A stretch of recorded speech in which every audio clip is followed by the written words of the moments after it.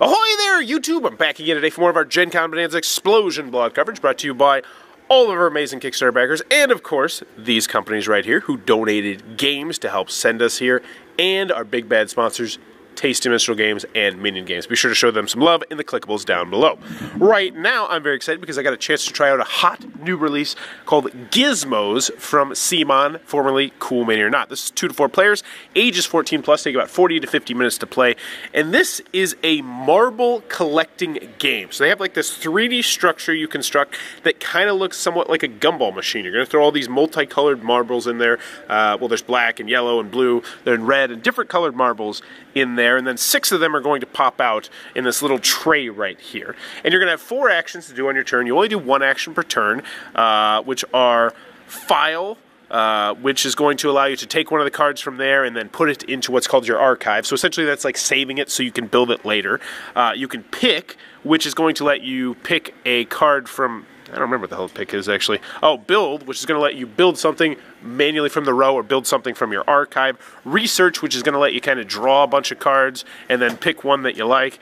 Uh, and then pick, which I don't remember what that is. It'll come back to me later. But you pick one action per turn, and it's it's like a card domino game. You're trying to set off these chain reactions of your cards. If, if you're familiar with, uh, say, uh, Race for the Galaxy, where you would try and get like you know, three or four cards that would all synergize well together. This is what it kind of does. So it'd be like if you pick a yellow marble, then you get to take two marbles out of the thing. But if you're taking things out of the thing, then you get to do this. And so what you're trying to do is build this engine by connecting all these cards together so your turns will be super long and super cool and be building stuff and drawing dominoes.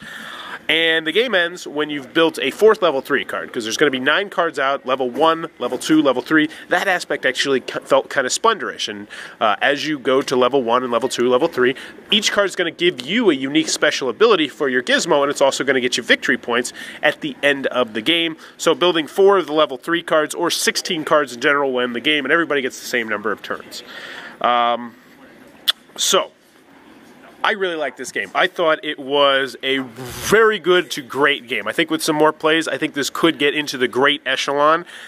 So what I liked about it was just the streamlined nature of the game. It's a very simple game. It's just one action on your turn, and I like how there were paths to victory. There's multiple paths to victory because it's like each of you is building your own sort of engine. So maybe you're going to be, you know, getting all these cards that'll make it so you can hold more marbles, or maybe you're going to be doing it so that when you take a specific colored marble, you'll be able to draw a whole bunch from the uh, the little marble bag or the Marble 3D structure. Uh, there was cards that did all sorts of stuff, and I like that aspect of the game. It felt like there was a wide variety of cards as well. I like the fact that you could like take cards and hold on to them, so you can kind of block other people as well. So there was some player interaction in that aspect, and we played the game, and there were definitely some times where other people at the table would say, "Wow, that one's really going to synergize really well with his gizmo that he's got going." So I'm just going to take this card, I'm going to archive it because you know it's good for me too, but it'd be fantastic for him. So there was some player interaction, but not too much much.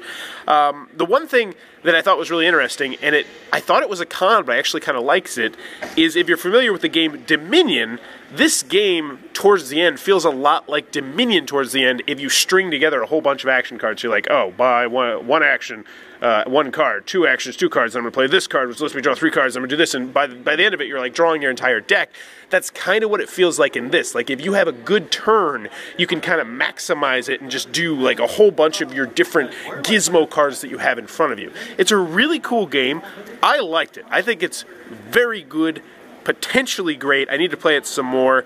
Uh, I, de- I definitely did feel like I don't want to say that there's different paths to victory, but I felt like there was different paths to victory. Uh, we played a really close game. Uh, Joel Letty got 35, I had 34, but it was it was super close, and we both had different strategies. Like my strategy was I had these two cards, which was um, the number of balls that I had in my power ring, and yes, that's actually a thing. Uh, were, giving me victory points at the end, so I was trying to get a whole bunch of balls in my power ring by upgrading my power ring so I could get my, my, my more balls in there. Uh, and he had a completely different strategy where he was drawing a whole bunch of marbles each and every turn and moving things around.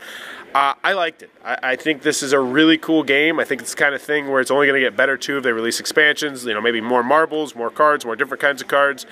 I was really hyped on this game, and I, I, I started playing it. I wasn't so sure, but I liked it. It's easy to learn, easy to teach Um, 14 plus, I think, is about right because that's the other thing. It feels like a family weight game, but there's just so much trying to get these dominoes to you know fall over and trying to trigger all these different things that it's definitely not the kind of thing we're going to play it with too many younger kids. But I think if you have older kids, this is a good family game. And at the same time, I think it would also go over well on game night. But the only thing I don't like about it is the two to four player count. But other than that, that is Gizmos from CMON. I really like this game. Uh, hopefully, be able to get a copy and uh, explore it some more because very, very cool game. So that is Gizmos from CMON. Definitely one I recommend checking out. I uh, I really enjoyed it.